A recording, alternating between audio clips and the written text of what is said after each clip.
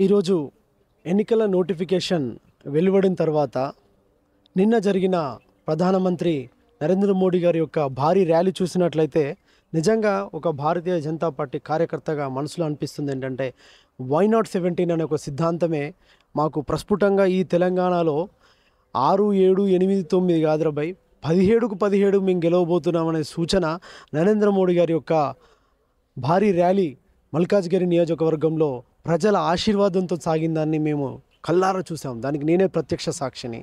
చిన్నపిల్లల నుంచి మొదలు పెడితే ముసలోళ్ళ వరకు కూడా ప్రతి ఒక్కరూ మోడీ గారిని చూడాలి మోడీ గారు ఎలా ఉంటారు ఆయన అంత దగ్గర నుంచి చూసే అవకాశం మాకు దక్కుతుందా అని వెయిట్ చేసిన వాళ్ళు ఆ లైన్లో నిలబడి మోడీ గారికి అభివాదం చేస్తూ వాళ్ళు నడిచిన తీరు చూసినట్టు మాత్రం అది ఎంతో అద్భుతంగా జరిగిన ఆ ర్యాలీ. మల్కాజీ నియోజకవర్గంలో ఈటెల రాజేందర్ గారిని కూడా పూల వర్షంతో నరేంద్ర మోడీ గారి మీద చల్లి వారికి ఆశీర్వాదాలు ఇచ్చినట్టుగా ప్రజలను మేము భావిస్తున్నాం.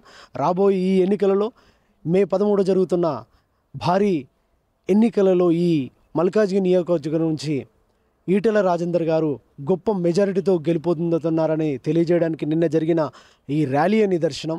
ప్రధానమంత్రి నరేంద్ర మోడీ గారు మాటలే కాదు వారి చేయి సంకేతం కూడా గెలిపించండి అభ్యర్థిని అని చెప్పింది కూడా ప్రజలకు ఎంతో గొప్పగా అర్థమైంది.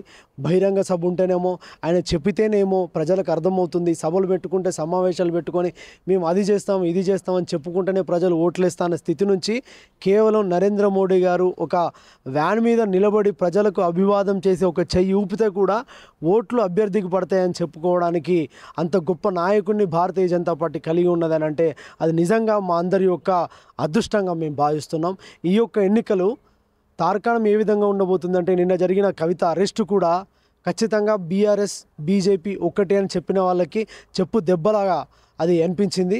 ఈ యొక్క ఈ ఎన్నికలలో బీఆర్ఎస్ ప్రభావం ఎంత మాత్రం కూడా ఈ ఎన్నికలలో ఉండదని అదేవిధంగా వారు చేసిన పనులే వాళ్ళకు చెంపపెట్టులాగా ఉన్నాయని మేము భావిస్తున్నాం. బీజేపీ ఖచ్చితంగా వై నాట్ సెవెంటీన్ తోటి పదిహేడు స్థానాలలో ఖచ్చితంగా గెలవబోతుందని మేము విశ్వసిస్తున్నాం.